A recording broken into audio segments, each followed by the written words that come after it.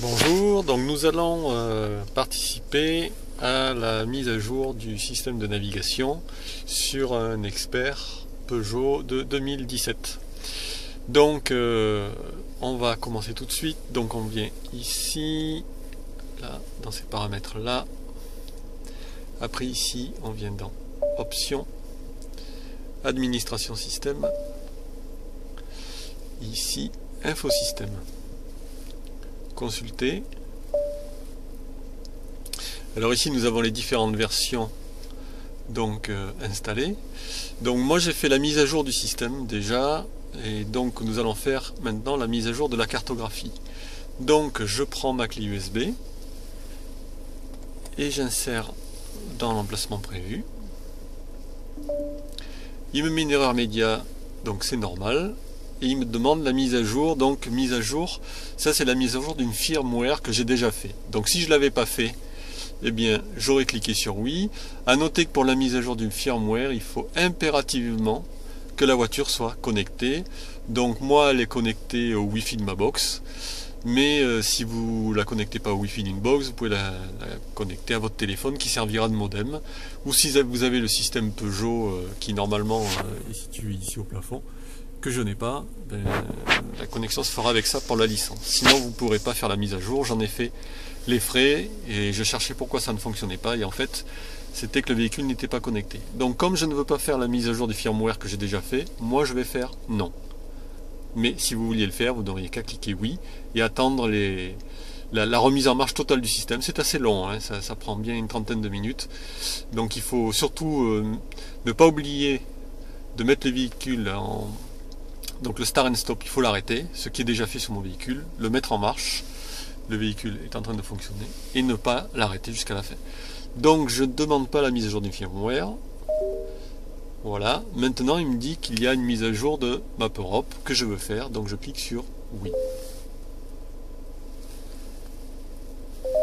Voilà, et je vais installer. Donc la mise à jour va débuter, celle-ci peut durer quelques minutes, rester moteur tournant, donc on nous demande bien de rester le moteur tournant. Est-ce que je continue? Oui. Voilà, donc on a bien une mise en garde, donc de ne pas couper le contact, ni retirer la clé USB. Donc maintenant il ne reste plus qu'à attendre. Voilà, ça fait à peu près 30 secondes, une minute que ça a commencé et le bar graphe commence juste à décoller. Donc on est, on est en train de faire cette mise à jour et donc euh, il suffit d'attendre maintenant.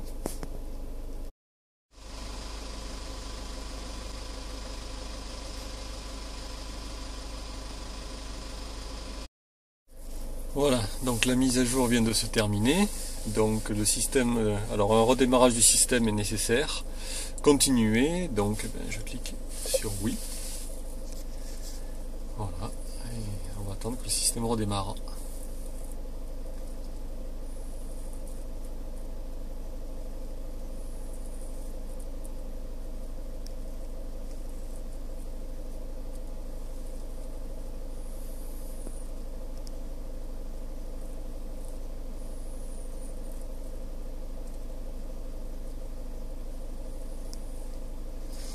Voilà, c'est fait.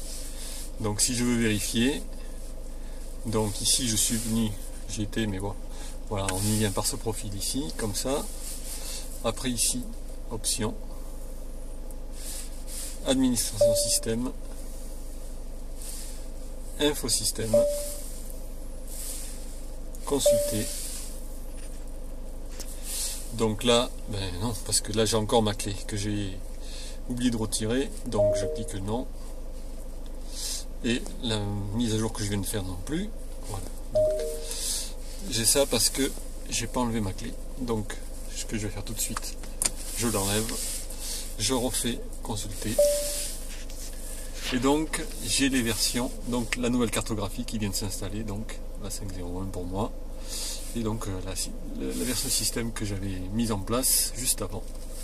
Voilà, donc euh, on repart sur la navigation.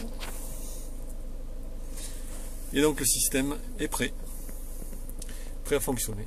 Voilà, ben, je vous remercie d'avoir regardé cette vidéo. J'espère qu'elle vous permettra de faire la vôtre avec succès. Au revoir, à bientôt.